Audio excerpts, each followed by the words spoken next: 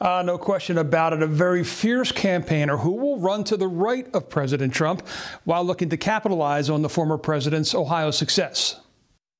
Josh Mandel came out of the gate in his campaign announcement for the U.S. Senate and made a hard right. Watching the sham and unconstitutional impeachment has made my blood boil, he wrote, and motivated me to run for U.S. Senate, adding he'll go to Washington to fight for former President Trump's agenda and, in his words, pulverize the uniparty, that cabal of Democrats and Republicans. A two term state treasurer, Mandel challenged Sherrod Brown for his Senate seat in 2012 in 2016, he backed Marco Rubio in the Republican presidential primary, but after President Trump's victory, became a staunch supporter and looked to mirror Trump's Ohio campaign strategy in a short lived 2018 rematch with Brown, going all in against liberal Democrats and the media. I'm the type of leader who will uh, take on forces in the media. Shame on radical liberals in the media. Radicals in the media. Shame on liberals in the media. This is his classic campaign tactic. He's going to paint himself as the ultimate Trump supporter, but he's got at least one other in the race that's going to be doing this, and that's Jane Timken, the GOP chair for Ohio, who has resigned that seat so that she can consider a run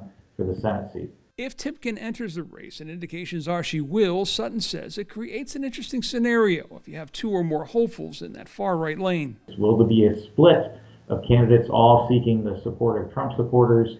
allowing perhaps another candidate like a state senator Matt Dolan or Steve Stivers to maybe come out ahead as the more moderate Republican.